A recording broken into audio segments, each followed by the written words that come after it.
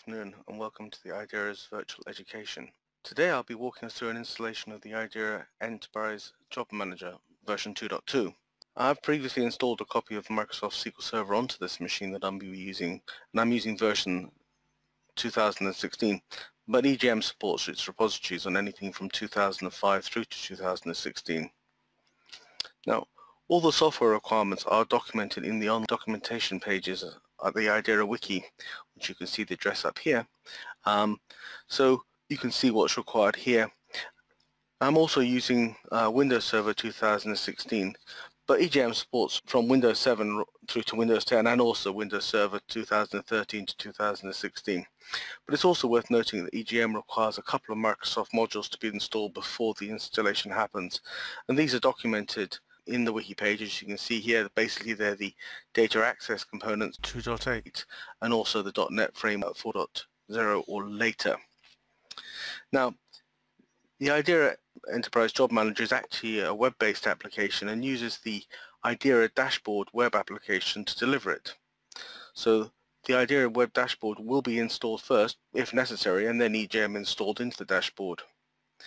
Note that if you have the IDERA dashboard already installed, perhaps from another IDERA web-based product installation, then you can select to use that same installation and I, the e, EJM will just appear as another available product, subject to the user's security of course, within the IDERA dashboard. It's worth noting that all the IDERA products use IP communications between the various modules using ports. So if you're using firewalls on hardware or software, then you may need to allow communications through these ports. I just kind of pull them out into a single document here, but they are listed through that on the wiki as well. So basically, what we can see here is that the IDERA dashboard itself uses these four ports. Some of them are for internal communication, some of them, for example, for the web applications, the SSL and the non-SSL ports you can choose to connect into. Also, EJM itself uses a couple of ports, one to communicate with the IDERA dashboard and one to reach out to the instances that you're asking it to monitor. So let's minimize that. Now, the uh, Enterprise Job Manager hardware requirements will vary depending on the number of systems and jobs being monitored, but in a similar fashion to the software requirements, the hardware requirements are documented into the online documentation on the wiki pages, and you can see them here. Whoops, just move off so you can get to see the full address there. Note that for larger environments, it would be normal to split the server that's running the EJM data collection and presentation services from the server that is actually hosting the SQL server that's used to store the collected data. Worth noting that during the installation phase, we suggest you use a user who is actually local administrator um, as well as having sysadmin into the instances that'll host the IDERA repositories. And try to use the right hand click run as administrator option just to avoid the kind of UAC issues. For the uh, service accounts you used for the EJM collection, I would suggest you use a user who has a sysadmin role, but if that's not available, then you can use um, users with reduced permissions as documented here, but there'll be some functions that aren't available. Note that the pages, the uh, actual requirements are documented on this wiki page ahead of you. And although there are granular options for specifying functionality, ultimately sysadmin privileges are documented for the ability to restart the agent if required. So that gives you some background behind the bits of information and where to find it. Let's go and look at it for real now. So I'm going to bring up my machine here.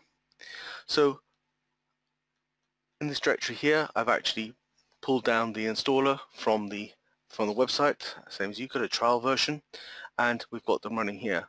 So I'm just going to run the installer here. I'm logged on as a user who is a local administrator on the system and is also a member, has a sysadmin role in the instance we're going to use. So I'm going to run the installer, clicking run as administrator. So the first state that's going to go through is to actually install the framework, the web framework. If you've already got that installed, as I said, you don't need to reinstall it.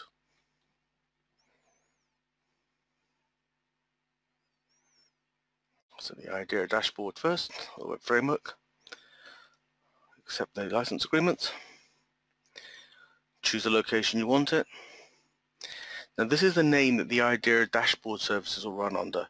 Again, this will need to be a local administrator and have the sysadmin authority in the instance that you're using to host its repository.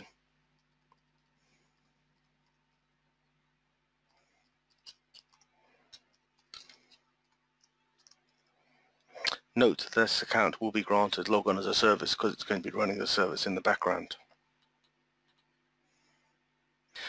These are the ports that are going to be used and you'll probably recognize these from that list I, I gave, showed you previously. Where do we want to store the repository that's going to host the Idera dashboard? So we can give it a machine, we can put it on a remote server if you so wished, give the database name here,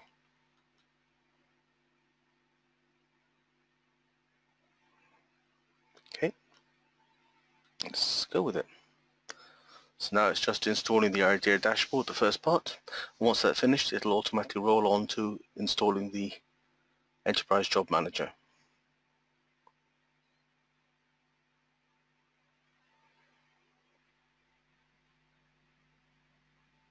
Okay, so that's the dashboard installed.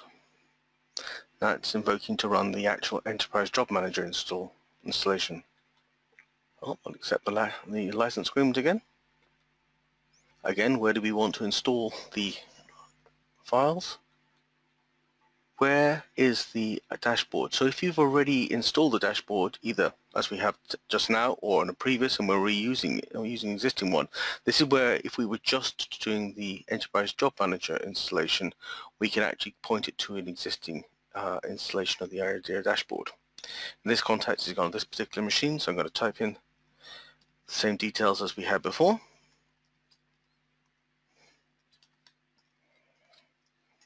But basically that needs to be a user who has administrator authority within the Idera dashboard.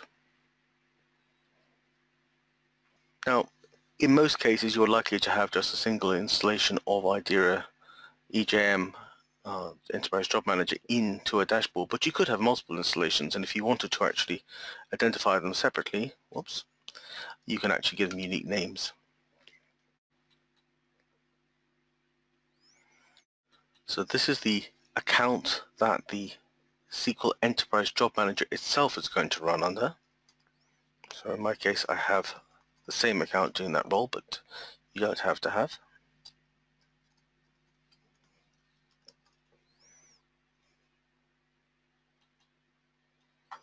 This is the port that it's going to use to reach out to the instances it's monitoring. Where does it want to store its repository? You can see the name where it's going to be. And this is for the EJM itself. The previous repository we created was for the dashboard.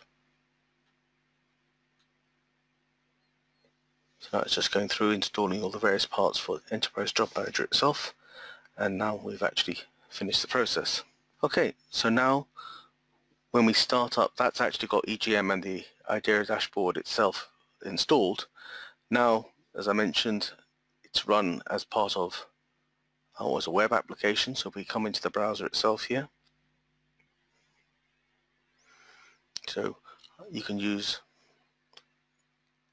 a normal or an SSL connection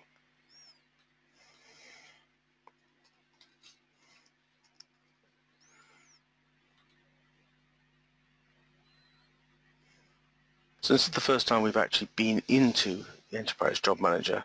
It'll start up with a wizard. So it's now asking us some bits of information so we can immediately start collecting or getting the information for us.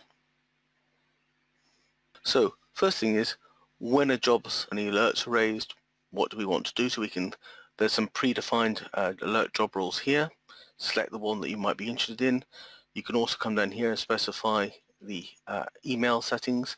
So this is basically saying where is the uh, email server that you want EJM to use to redirect and send on its emails through. So you're sending the messages are going to come from this user. This is the address for your SMTP server. Note if using SSL you want to put the ports in and some authentication. Always worth running a test email by the way just to make sure that those things are correct. Users. Now, As it says here, there are three types of users in Enterprise Job Manager. So there's the administrator full role, there's the normal user role, and there's a kind of read owner role. If we click on the manage users here, add user, we can then specify what we want. So I'm going to create, I'll add a user called James who's in my system. Now, what sort of user is he? Administrator, read-only, user, specify it. Session timeout, how long the session running for. If you want to be indefinite, you can just untick that box. Otherwise, you specify the hours, minutes for the system will time out for them. and we can then go through and add more. Of course, you can go through that. You can add these users after the event. This is literally just a startup process. Move on. What instances do we want to monitor? Again, you can add them again afterwards, but if I just say I want to add, uh, a strange character got in there. So it's my MB1 system. How frequently do we reach out and collect it? Are we going to monitor the Windows tasks as well? Put them in there. When we're reaching out to that system, we're going to pick up information from the SQL side and from the Windows side. So you can give in the accounts. As you see here, we can use the actual Enterprise Job Manager service account to do that, if assuming it has authority, or you can actually specify other users. And again, test the connections to make sure they're okay. Similarly down here, reaching out um, for the uh, OS metrics which you might need to want to pick up on. Again, we can use uh, the service account or a specified account and again we can test the connection just to make sure it's okay. Information about that instance. So within Enterprise Job Manager you can identify and make sure understand it better. So we can say this one is owned by, I don't know, Rosemary and the location might be in Petersfield a nice nice location okay and then we can put comments about that particular system as well maintenance so if you are running maintenance activities on the system you can actually flag jobs as you create them as being maintenance jobs and they will actually occur within a particular window and you can then opt down here to decide what you want to happen when the jobs have finished etc or jobs other jobs that are running when the maintenance window is invoked so you can actually set it up again, you can do it here or you can do it later. So there's the instance we've added. Now we can just submit that and we're now, uh, as a starting point, looking at that particular system. You could go loop around the system, add more if you wanted to, but at this point in time I'm just going to submit that. So we're now looking at our Enterprise Job Manager. A lot of those admin functions we were looking at before for adding and users and instance and things are all up here. Now we can actually go through here to understand looking at the schedule for jobs, what jobs we've got, histories jobs, job trends and all that sort of information as we're collecting and of course is the core reasons behind Enterprise Job Manager. Note, if we had multiple products, they would be uh, within the IDERA dashboard, they would be in this line down here. And note that's our EJR1 for the, the one we created for this system. Okay, thank you very much and hopefully you find that useful.